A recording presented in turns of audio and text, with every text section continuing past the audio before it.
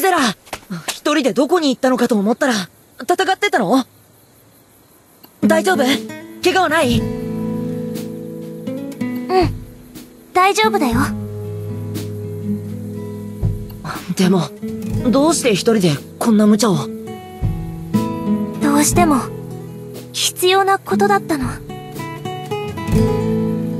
よくわからないけど、心配だから無理しちゃダメだよ。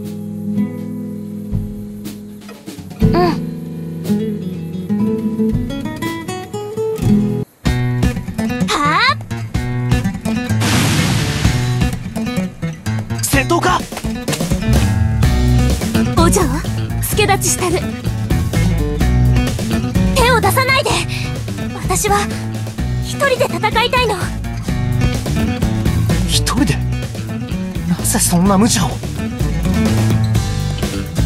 私には、もっと力が必要だから。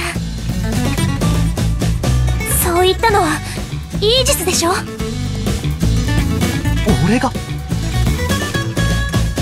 だから私はもっと強くならなきゃいけないの。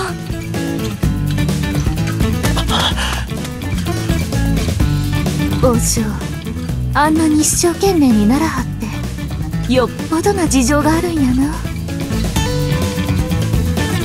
いいつお嬢に何言うたん数日前ミゼラの生活態度を改めさせようとこう言った。もっと女子力を養わなければ嫁のもらい手もなくなるぞ。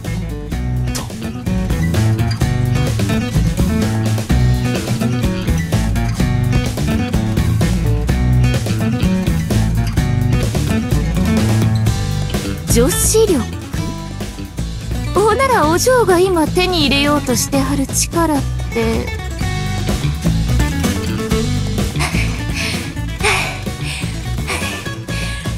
何匹でもかかってきなさい。灼熱の効果で全て灰にしてあげるわ。私はもっともっと力を手に入れるの。あなたたちの屍を礎にして女子力を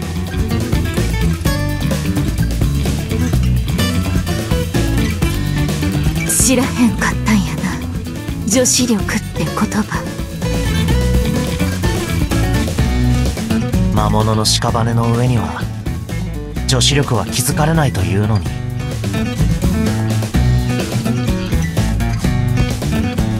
残念やな